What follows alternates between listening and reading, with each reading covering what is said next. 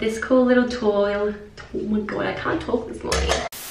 Hey guys, Holly Dexter here and I am back with another little video to show you guys how I style my hair with the Mermade Hair Tool. This is a sponsor for Miss Universe Australia for 2020 and I can't wait to show you guys how I use it. So first thing, I'm going to go through and brush my hair.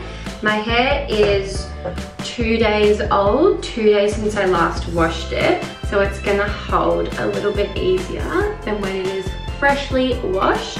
And I forgot to tell you, but I also set this to 180 degrees because that's the perfect temperature for your hair to not get damaged, but to also work well.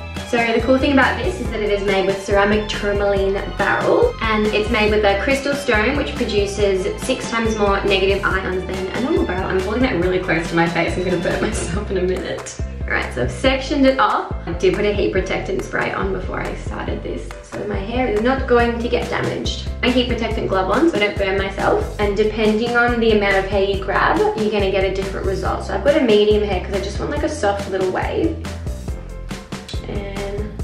that in like that. Be careful not to burn your ears. Hold it to five to eight seconds. Someone's found his squeaky toy. And there we have first section on that side. I'm gonna go onto the other side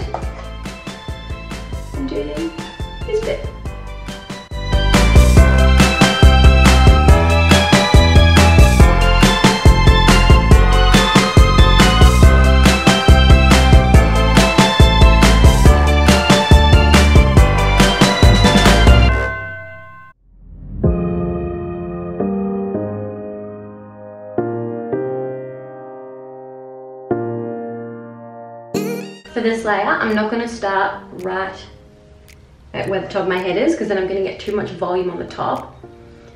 And I'm also not gonna hold it for as long as I did on the bottom ones because I don't wanna create like heaps of waves on the top bit of my hair because I just don't really like it on me. That was a really good example of not what to do because that's like a bit too curly for me there. There we go. That's what I meant to do. And there we go.